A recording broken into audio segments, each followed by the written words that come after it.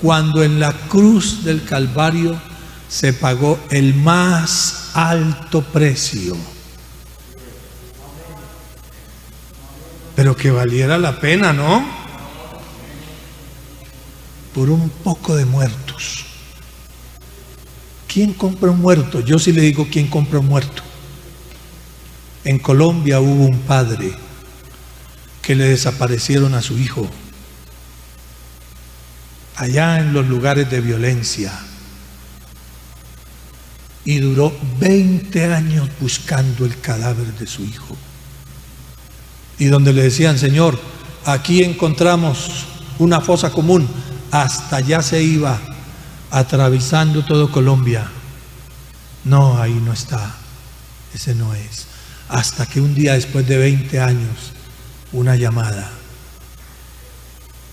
Señor, se acaba de encontrar una fosa común y tiene el pantalón así como usted decía, la camisa a cuadros de tales colores así, así como usted dijo, una gorrita así, todo como usted dice, las prendas. ¿Por qué no viene? Dice que ese hombre se fue hasta allá. Y cuando vio que esa era, la ropa, la camisa, todo, dice que ese hombre se arrojó sobre esa osamenta y apretaba esas costillas, esos omoplatos, esos fémures, los apretaba y ese cráneo lo apretaba y lloraba y gritaba. Y le decían, Señor, ya, ya, eso es una osamenta, eso no, no, es mi hijo. Si yo pudiera transmitirle mi vida, se la inyectaría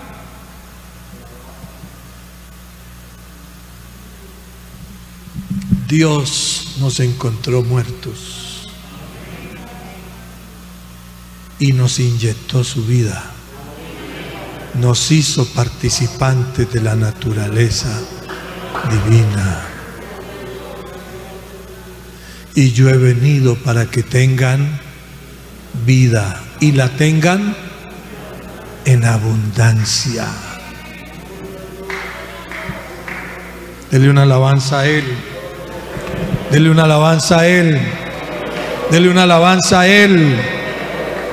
Mire, hermanos, nos debemos a Jesús de los pies a la cabeza. Porque Él dijo, yo he venido a buscar y a salvar lo que se había perdido, es decir, todo el hombre. El hombre se perdió todo íntegramente. ¿Qué es íntegramente? En espíritu, alma y cuerpo. Asimismo fue el rescate. Hemos sido rescatados en espíritu, alma y cuerpo. Porque inclusive nuestro cuerpo Él dice que es templo, morada de Él. ¿Estamos de acuerdo?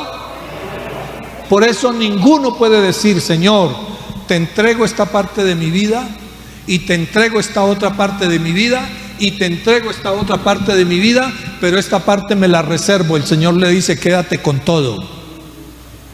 Al Señor se le da todo o no se le da nada. No os engañéis, Dios no puede ser burlado.